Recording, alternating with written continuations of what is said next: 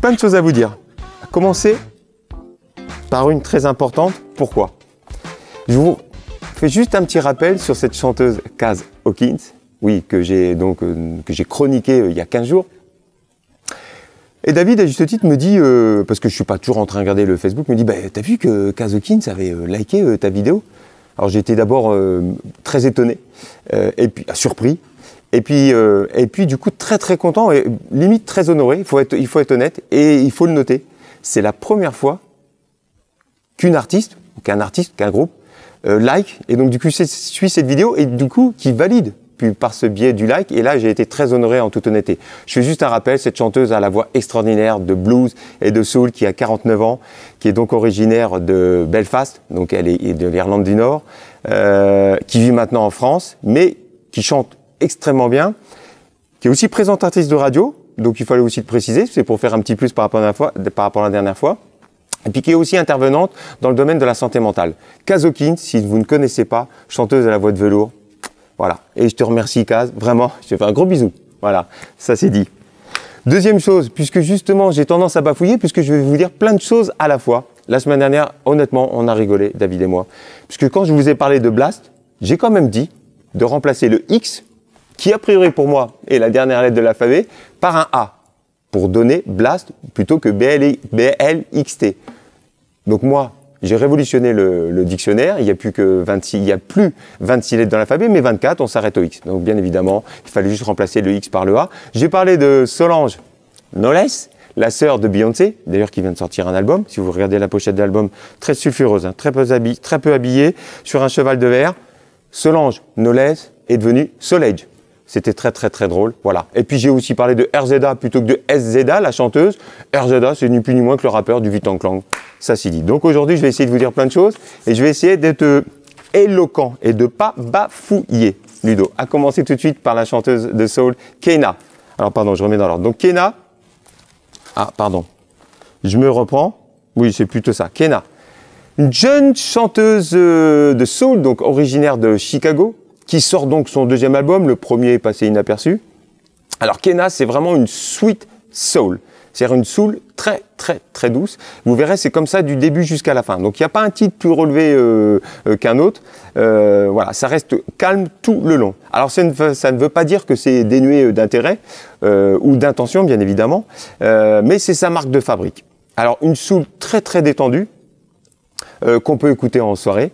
Alors tous les ingrédients indispensables sont quand même ici présents, hein, en parlant des cordes qu'on a utilisées dans la soul des années 60, des grosses lignes de basse groovy, des claviers numériques, des guitares un petit peu saturées, je vais vous dire pourquoi. Par contre, pas de section de cuivre. Ça, c'est plutôt rattaché au funk en général. Euh, artiste guatémaltaise et euh, donc vénézuélienne, née à Chicago, elle a toujours eu ce goût prononcé donc pour le rhythm and blues, le jazz, les musiques latino par euh, ses origines, vous allez voir, la pop indé et donc la soul.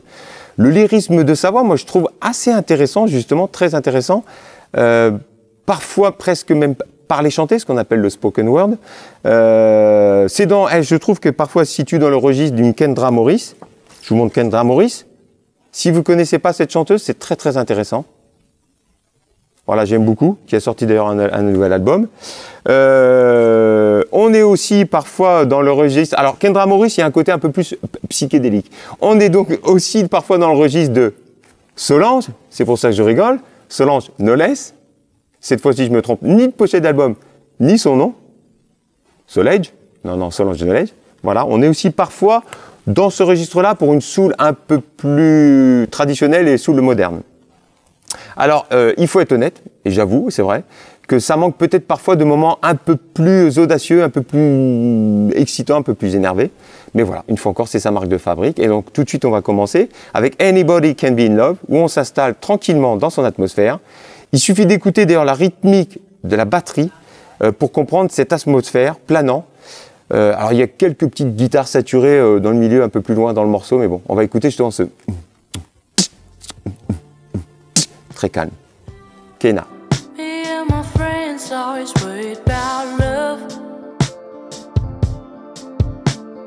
Everybody's looking for a sign that they won't trust.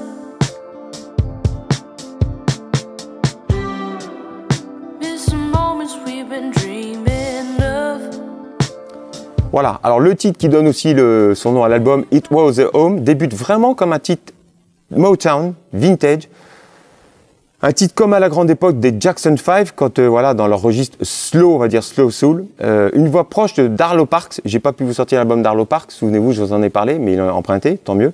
Rend hommage justement à l'appartement dans lequel elle vivait, elle a vécu pendant plus de 16 ans avec euh, ses parents. It was a home. voilà, cet endroit justement un peu exigu, dans lequel justement elle a découvert tout le registre de la soul et de la Motown. Alors ses parents écoutaient beaucoup Al Green, mais aussi donc les Jackson 5. Elle le dit, ce petit endroit, euh, voilà, euh, exigu, donc euh, où on partage tout. In a little room, donc une petite, une petite chambre. In a little house, dans une petite maison. It was home, c'était une maison, c'était pas une montagne. It was not a hill. Il y a juste à la fin, on dit justement by the hill, à côté de la montagne, voilà. Donc c'est linéaire. On écoute. It was a home.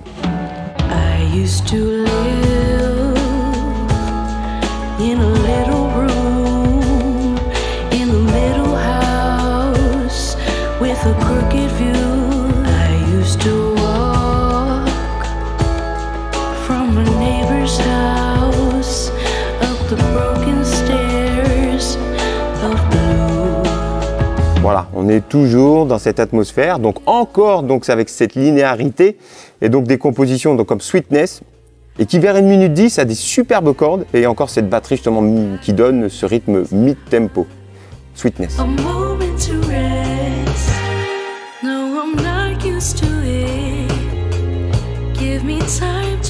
Un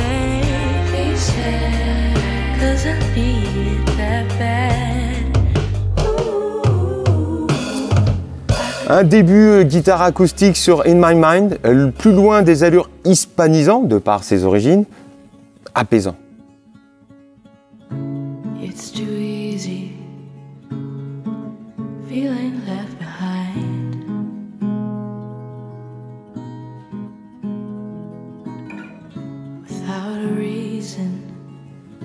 Alors, un peu plus étonnant, honnêtement, sur le titre qui suit, vous allez voir, en fait, elle invite les, les, on va dire les, maîtres euh, à l'époque de du grunge et du, du, punk, que sont euh, Kinney. Alors, souvenez-vous, Slater Kinney, l'album aussi emprunté. Plus étonnant, donc du coup, un titre un peu plus rock électrique, ça s'appelle Ultraviolet.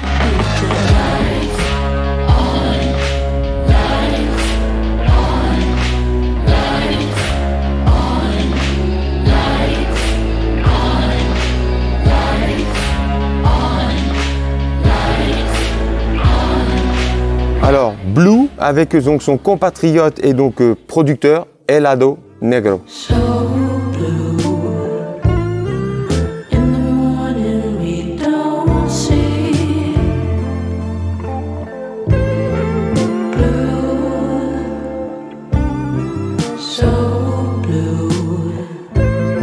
Le titre suivant, Casita, donc une fois encore la maison, j'en rigole déjà, je vais vous dire pourquoi. Alors là, vraiment, elle mélange les sons euh, latinos euh, et le rhythm and blues, plus, plus classique, pour évoquer, justement la maison de ses rêves. Donc, euh, est-ce qu'elle a un problème avec les maisons quand même? J'ai l'impression quand même. non, c'est surtout en fait une métaphore pour faire comprendre que ses rêves peuvent éventuellement devenir réalité. Alors souvenez-vous aussi, oui, j'ai noté, Santana, quand il avait fait le gros tube Maria Maria, c'est un tube un, poil commercial quand même. On est un peu dans cet état d'esprit.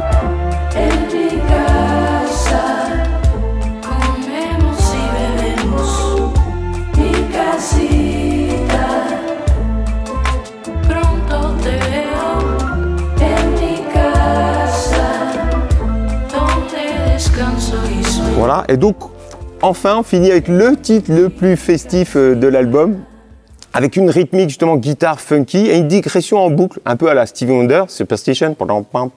Le titre s'appelle Apple, et donc écoutez bien cette, cette boucle groovy euh, entêtante.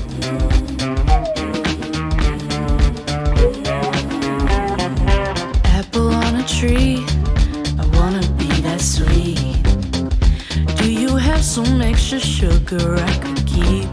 I have so many questions, like what's it like to be? Voilà, donc un album où elle se raconte, hein, comme beaucoup d'artistes. Euh, chaque chanson, chaque image en fait du disque rappelle à un moment de sa vie et notamment toutes les soirées en fait euh, salsa qu'elle a vécues pendant son enfance, de par ses origines. Elle y évoque aussi le féminisme noir. Bref, moi je trouve vraiment un, disque apaisant dans son attitude. Album thérapeutique, je ne sais pas, mais moi ça me fait cet effet-là. Alors, transition, attention, euh, Black Flower. Alors je vous montre un ancien album, on en a, on en a beaucoup. Black Flower. Voilà. C'est magnifique comme tout. Je vous montre l'autre parce que celui-ci, déjà, la pochette est un peu intrigante. Donc euh, là, c'est plus mystique, c'est plus ésotérique. Euh, poursuivent leur expérimentation musicale et leur exploration musicale. Voilà, un petit peu plus loin. Ils poussent même euh, l'expérimentation. Alors menée par le leader Nathan Dimes, parce qu'en fait, euh, alors lui, il est flûtiste, on va l'écouter. On écoute beaucoup la flûte et le saxophone véritablement dans cet album. Donc c'est un groupe belge toujours influencé par l'éthio jazz, donc le jazz éthiopien. Ceux qui ne connaissent pas l'éthio jazz, véritablement, vous devez au moins écouter Moulatou Astake, que le maître incontesté de l'éthio jazz. On a aussi des anthologies qui s'appellent éthiopiques, qui sont très très bien faites dans ce style-là. Voilà. Mais ce groupe Black Flower est aussi influencé, donc Ethio Jazz, et aussi, aussi beaucoup par l'afrobeat de Fela Kuti, mais qu'on connaît un peu plus. Donc on est toujours dans cet état d'esprit, euh, mais alors là, le courant psychédélique euh, apparaît un peu plus, euh, se permet d'expérimenter d'autres sources sonores, moi je trouve. Alors cela cause Covid, qui leur a permis véritablement de prendre leur temps. Il faut savoir que c'est un groupe qui en général enregistre pas plus de 5 jours dans des sessions vraiment live, avec deux titres enregistrés par jour. Là, ça n'a pas été le cas, ils ont vraiment pris leur temps, d'où les expérimentations. Et donc ce Magma, le titre de l'album, euh, sent que les sons sont beaucoup plus travaillés, beaucoup plus subtils, beaucoup plus d'originalité, je trouve, beaucoup plus d'expérimentation. Alors je sais que ça va sûrement gêner certains, c'est hypnotique, euh, il y a des percussions, des orgues orientaux, euh, il y a beaucoup de notes, une jungle de notes, des rythmes jazz quand même explosifs, traitement électro, qu'il n'y avait pas sur les autres albums aussi, même un peu de dub. Euh, une production, moi je trouve léchée, des sonorités euh, qui sortent du commun. Il faut vraiment plusieurs écoutes, et moi ça a été le cas aussi, ça le cas aussi pour rentrer dans l'univers de Black Flower. Euh, alors la base de l'album a été composée, lors d'une tournée au Brésil. Et surtout en fait lors de jam session, donc ce qu'on appelle le jam pendant des buffs, entre les dates. Voilà. Donc musique, il faut savoir que pourquoi il y a beaucoup de styles, c'est que le groupe écoute énormément de musiques très différentes les unes des autres, et notamment le leader euh, a beaucoup étudié, par exemple, les musiques euh, donc les musiques d'Inde. Alors, je rappelle vite fait, hein, sans faire euh, le professionnel ou non le prof, pardon. Donc nous, on est sur une gamme essentiellement euh, chromatique de mi, fa, sol. Et eux, en fait, n'utilisent pas du tout les mêmes gammes, notamment cette note qu'on appelle le sa, ré, ga, mi. Et aussi selon ce qu'ils jouent. C'est-à-dire s'il joue des ragas, s'il joue des swaras, s'il joue des tats. Donc la musique hindoustanie n'est pas du tout la même que la nôtre, pour dire ça, est beaucoup plus compliquée. Alors le magma, donc euh, le titre de l'album, moi je trouve que c'est subtilement bien trouvé parce que c'est comme justement un magma qui coule, euh, qui explose aussi, mais qui se solidifie euh, sur le flanc voilà, du, volcan. Et je trouve que ça illustre vraiment une fois encore l'explosion de saveur de, donc, des compositions mais aussi donc euh, cet écoulement lancinant qui s'insinue véritablement au fil des écoutes dans nos têtes. pour résumer, voilà, un jazz fusion, multiculturel, orientalo, euh, afro, Afrique, éthiopien, euh, musique soufi, hindoustani, progressive, des sonorités balkaniques, un peu de soul, un peu d'électro, un peu de world, musique latino. Bref, vous avez bien compris, saveur, des saveurs et explosion de musique. Alors, plutôt que de d'expliquer en fait chaque titre qui serait un peu inexplicable parce que les titres sont assez longs. Donc c'est compliqué de vous rendre compte euh, de la richesse, mais on va écouter donc du coup un extrait de chaque titre assez rapidement, à commencer par Magma.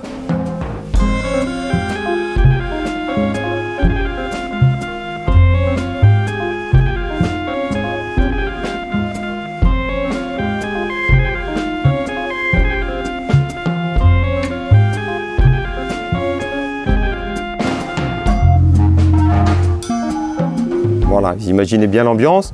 La deuxième, au fogo. Donc là, on entend la flûte, le flûte du, leader, et l'orgue, superbe.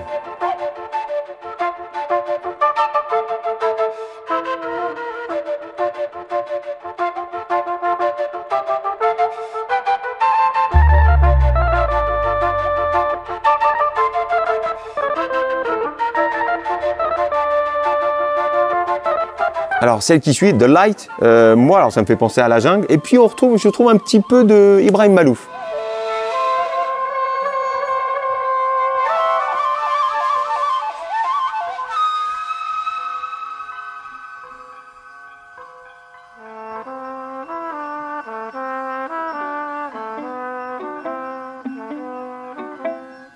Euh, Liquid, la quatrième.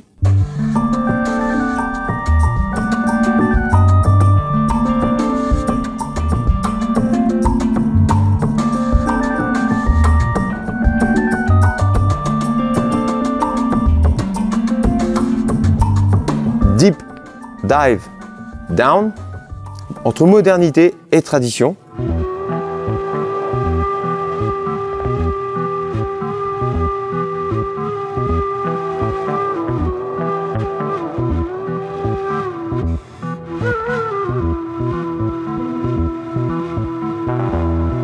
Morning in the Jungle, avec je trouve euh, belle ligne de basse.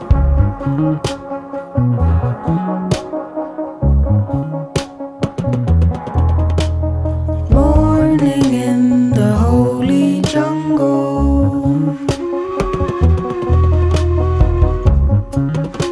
The Forge, qui me fait penser moi à une éruption justement volcanique.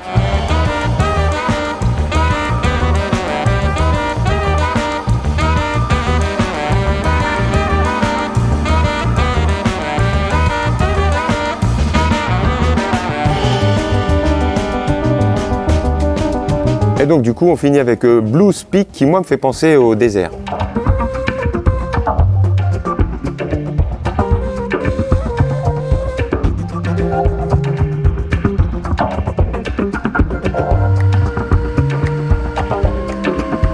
Voilà, moi je trouve qu'on est transporté un peu comme au cinéma, à savoir que comme invité, puisque je vous rappelle, je vous avais présenté Meskerim Mise, qui est belge, donc euh, comme le groupe, d'origine éthiopienne. Voilà, on la retrouve aussi en invité en tant que chanteuse sur un titre, Meskerim Mise. Alors, musique euh, qui va faire plaisir à un de mes collègues, Olivier, encore, mais alors là, véritablement, c'est festif. Ça va avec le temps du moment, il fait très beau, on en profite. Profitez de cette euh, chaleur estivale. Et d'ailleurs, j'en profite pour souhaiter bonnes vacances à ceux qui éventuellement sont en vacances. On va parler de K-O-G pour Kweku of Ghana. Euh, donc là, qui s'aventure en solo. Oui, en solo, parce qu'il fait partie d'un nombre incalculable de projets, notamment celui-ci, Onipa, dans un registre beaucoup plus afro-électro. Voilà. Mais il est aussi à la tête de, euh, donc, cofondateur et à la tête de Zongo Music. C'est un collectif de musique alternative africaine. Leader du groupe d'afrofusion KOG and the Zongo Brigade. Et membre d'un projet dub, oui, carrément dub, ce qu'ils appellent le dub, le, nom de groupe c'est Dub Redemption Sound. Euh, voilà. Et donc là, cette fois-ci, il se lance en solo avec ce titre qui est assez drôle. Voilà, Zone 6 Agégué, qui est donc le nom de la banlieue d'Accra, qui est donc la capitale du Ghana, mais aussi la ville dans laquelle il a vécu. Euh, alors, c'est du groove ghanéen. Et lui, il transforme le rock, le jazz, le funk, la soul et autres, hip-hop, voilà, avec ce groove donc ghanéen. Une musique qui transporte. Euh, un beau projet euh, est produit alors par Tom Excel. Vous, ra- je, vous rappelle, je vous rappelle que j'avais fait un mauvais jeu de mots avec Excel, puisque c'était le producteur de qui? The, The New Band Twist. Formation, pareil, afro, fusion, funky. Voilà. D'ailleurs, dans lequel on retrouvait euh, déjà KOG en invité. Je vous mens pas, c'est marqué derrière. Voilà. Donc c'est pour ça, du coup, ils s'invitent les uns les autres. Alors, produit par Tom Excel, mais aussi produit par qui? Et surtout, moi, je trouve c'est très important, par Gut. Gut, je vous en ai déjà parlé plusieurs fois. Il se faisait appeler Gutsy. C'était le beatmaker, producteur du groupe soul, funk, hip-hop, alliance ethnique dans les années 90, qui, qui est un digger de surnom. Digger, c'est des gens qui vont fouiner partout, de partout dans le monde pour aller trouver des perles rares, des perles rares. Parle bien, Ludo. Et surtout, on lui doit des compilations, notamment celle-ci, qu'on a à la médiathèque au Straight from the Desk, que je vous conseille. Entre autres, hein, il n'a pas fait que ça, il a fait autre chose, mais voilà. Gut, il est pour beaucoup euh, dans l'atmosphère et dans la production. Euh, on a aussi des invités de choix qu'on retrouvait déjà dans le projet de The Nubian Twist. Donc là, Blay Ambolet, donc je vous l'ai déjà dit, le maître du High Life, un des maîtres du Life en tant qu'invité. On retrouve cette fois-ci Anthony Joseph. Donc Anthony Joseph, il est poète, il est surtout euh, slammer et euh, il fait surtout du spoken word. Donc spoken word, le chanter parler, mélangé à l'afro-funk fusion. Anthony Joseph. Voilà, pour les invités. Euh, il est trini, Trinidad, trini, trinadien, je vais y arriver, donc de Trinidad et Tobago, Anthony Joseph. Alors, sur cet album, Il se livre comme jamais, puisque c'est un projet solo, forcément.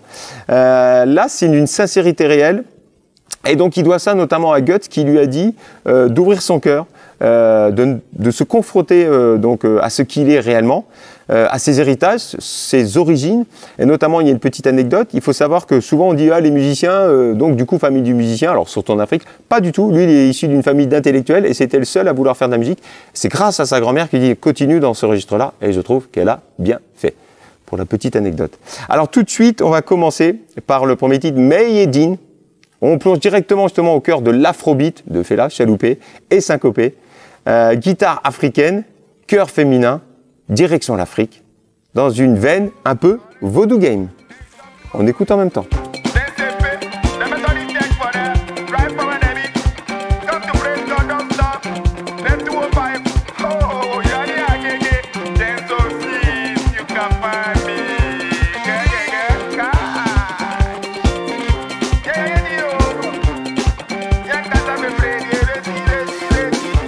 Voilà. Euh, alors sur celle qui suit, un sax en avant avec Shida. Et toujours, c'est donc ces guitares africaines, euh, un jeu de rythmique afro-funky, euh, des cassures justement de rythme entre afrobeat et une musique traditionnelle. Shida.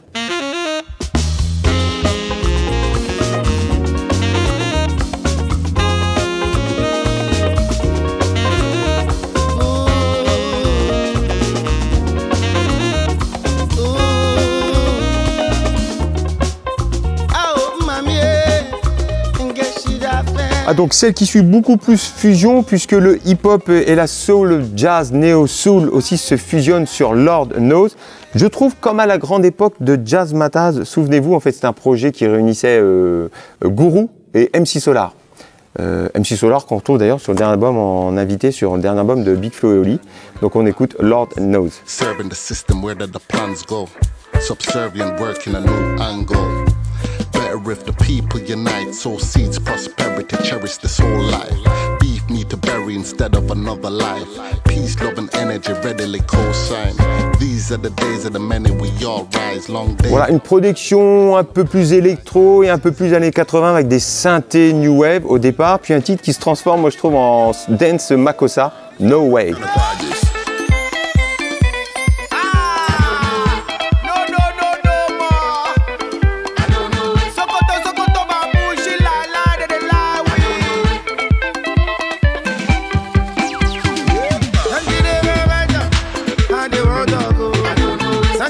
Alors sur celle qui suit encore cette fusion rap old school et donc du coup euh, jazz afro soul, moi qui me fait vraiment penser, qui rappelle euh, ce groupe-là, souvenez-vous, Arrested Development. À la tête de Arrested Development, il y avait donc euh, son leader qui se faisait appeler Speech. Souvenez-vous, everyday people. On est un peu dans cet état d'esprit avec cette qui suit.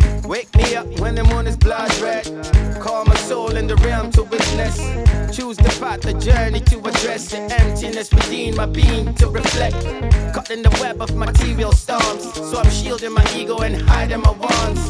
Disconnect my radius, I'm edging to the fall. Disguise my vision, never caught up in their walls. Today we saw the signs, marginal oppression, the changing of time. Une accalmie avec euh, le folk Ada Katia. When rain falls, it falls on the rich and the poor. So it's important to be nice because we are living to die. Adakatia.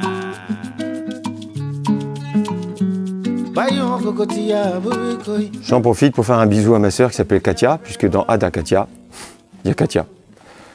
Ça m'est venu comme ça encore une fois, mais bon. Alors, celle qui suit une perle afro-groove, Ebenezer.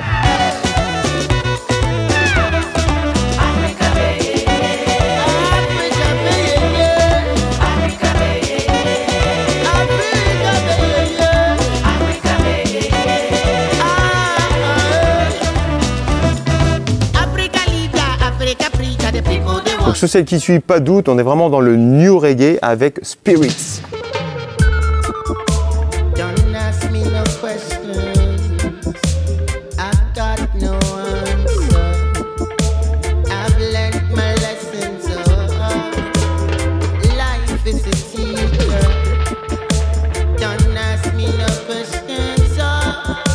Et donc on finit avec Ya Ya, vraiment dans le pur style Fela Kuti.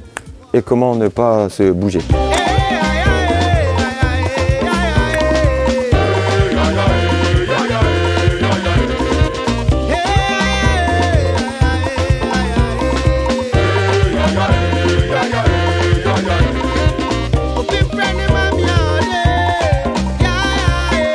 Musique ensoleillée.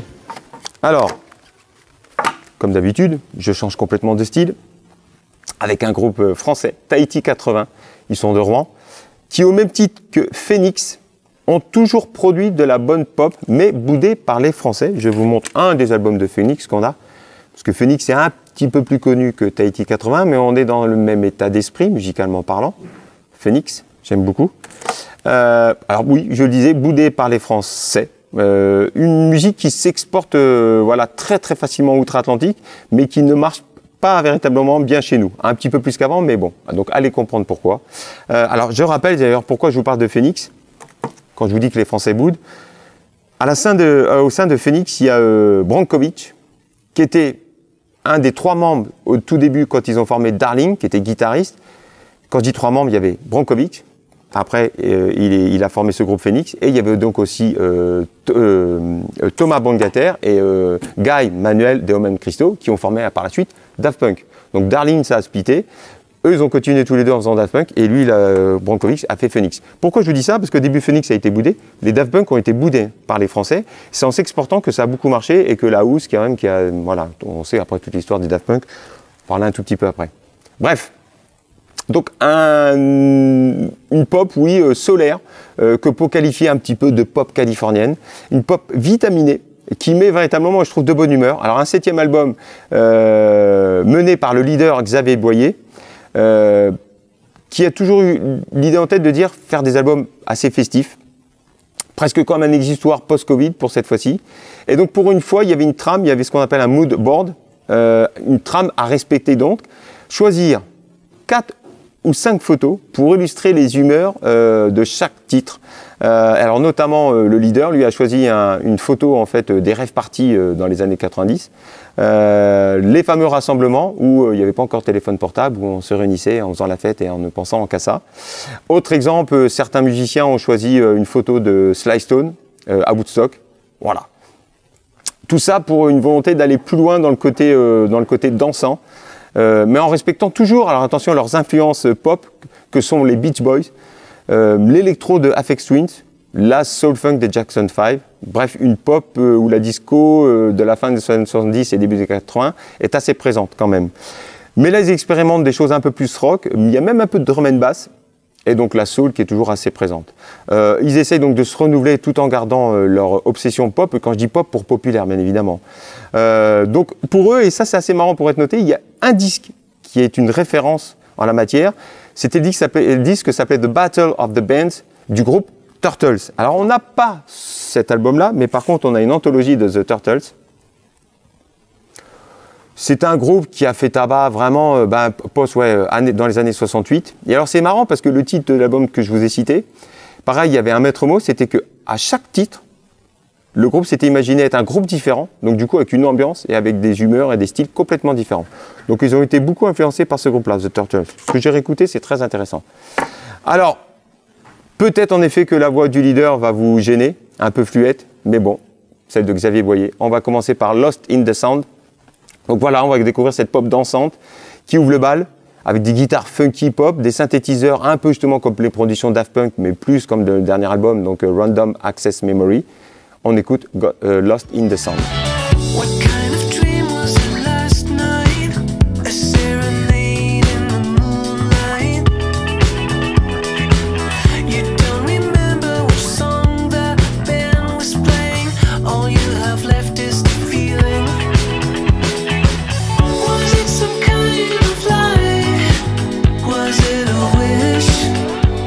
Cette issue, justement, on va vite comprendre leur amour pour les Jackson 5, euh, parce que je trouve que ça fait vraiment penser, en tout cas l'introduction, euh, vous savez, à I Want You Back. On est un peu dans cet état d'esprit.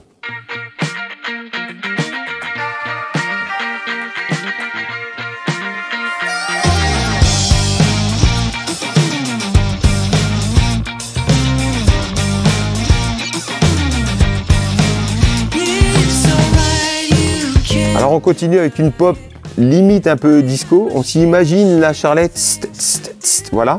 Euh, une pop discothèque pour de discothèque justement avec bout la facette Telling Myself.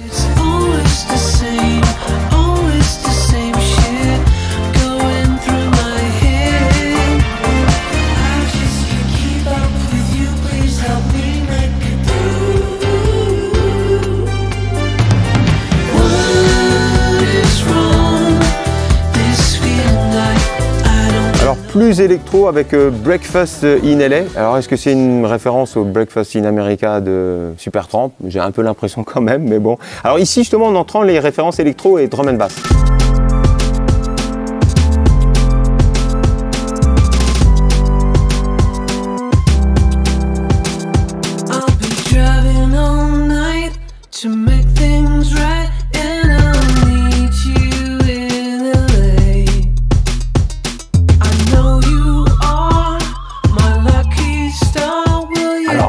Le titre suivant, euh, Cameo. Alors là, cette fois-ci, euh, aussi, je pense que c'est une référence euh, au nom enfin, au groupe qui s'appelait Cameo, un groupe des années 70-80, une légende, euh, voilà, un groupe de funk. Donc là, on est un peu, voilà, dans les, dans le funk années 70-80 avec une rythmique quand même un peu plus pop. Et on entend d'ailleurs aussi un sample de steel drum et des synthés années 80.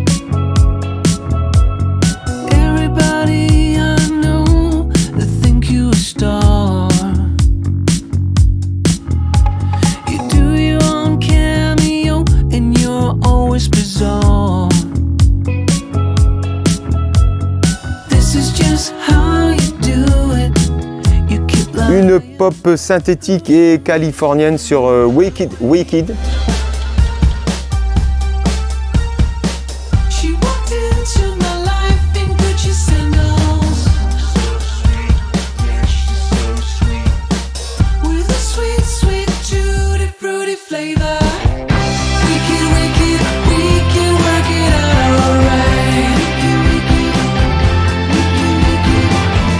Finit avec une balade moi, qui clôt euh, d'une manière assez nostalgique. On écoute.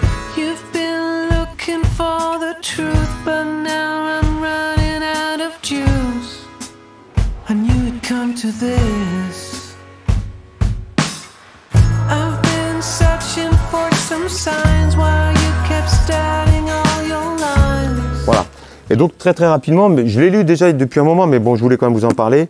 Je ne refais pas toute l'histoire des Daft Punk, mais c'est très intéressant. Donc là, c'est sous forme d'abécédaire.